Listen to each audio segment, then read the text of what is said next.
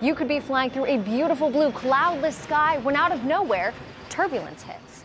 It's known as clear air turbulence, and for good reason. There are no visible signs, and it's undetectable on radar and satellite imagery. New research shows that rocky rides may become more common, and like the turbulence, the link to climate change is clear. About the first of its kind research, we hop across the pond to the United Kingdom.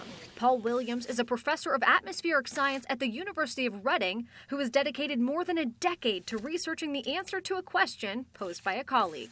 What is climate change doing to turbulence? I had to confess I had no idea. I had to look through the, the scientific literature and there was really nothing out there. Uh, so it was a complete unknown. Paul immediately dove into dissecting the connection between climate change and air turbulence and has since found clear evidence for strengthening turbulence across the globe in the jet stream region. It all has to do with a law of atmospheric dynamics called thermal wind balance. And it tells us that north south temperature differences are what drive wind shear in the jet stream, vertical wind shear. Climate change as a result of greenhouse gas emissions is causing temperatures to rise more rapidly in the tropical parts of the planet than the polar regions.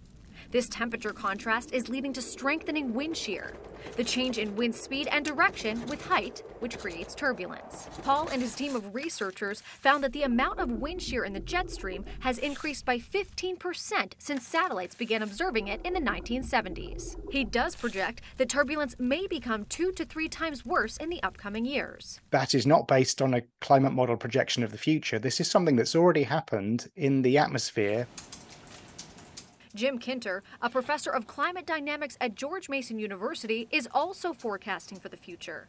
He specializes in long term modeling of the atmosphere in our changing climate.